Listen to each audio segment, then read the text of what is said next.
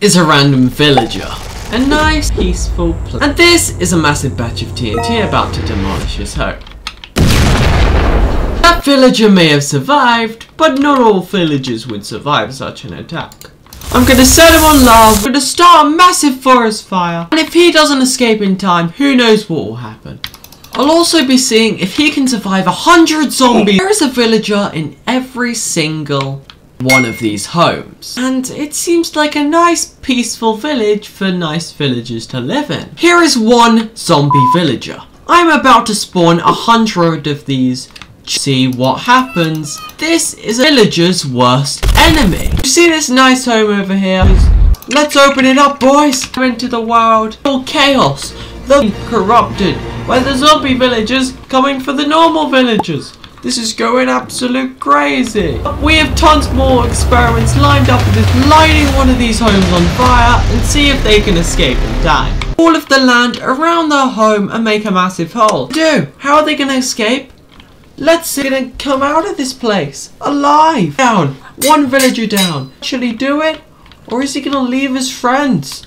Is he a caring villager? He survive or will he not? Survived. One villager survived out of this house that is burning down in the hot corrosive lava. Everyone knows the TNT pressure plate tactic. I'm spawning tons of corrosive TNT underneath this home. I'm going to spawn 5 villagers to see who is the smartest out of all of them. Will they step on it or will they not?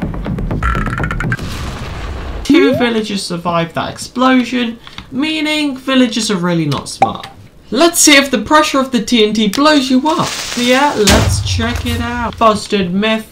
I've created an entire escape room for these villagers. If they do not escape, they're to go down here, down here. This is the easiest route. We are gonna spawn 10 villagers and whoever gets out first wins the challenge. Nicest way out wins. And how fast the reaction time is. I'm about to impale them with all of this. To the villagers have lost, they are still alive. I have beaten the villagers, but now I want to see what would happen if you flooded their town. Would they be able to survive? Or would they drown? If them, or will he just stay there like an absolute lunatic? I always wanted to try this, but I haven't really had the chance before.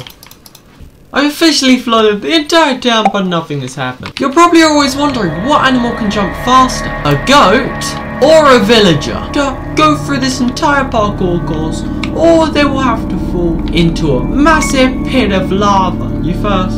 Legend says goats can jump super far. See if it can really... If it can really jump that far. Oh, dumb Mr. Goaty. This goat got decimated into the lava. If you want any more experiments, tell me in the comments, but besides from that, I think that was a successful video. Goodbye.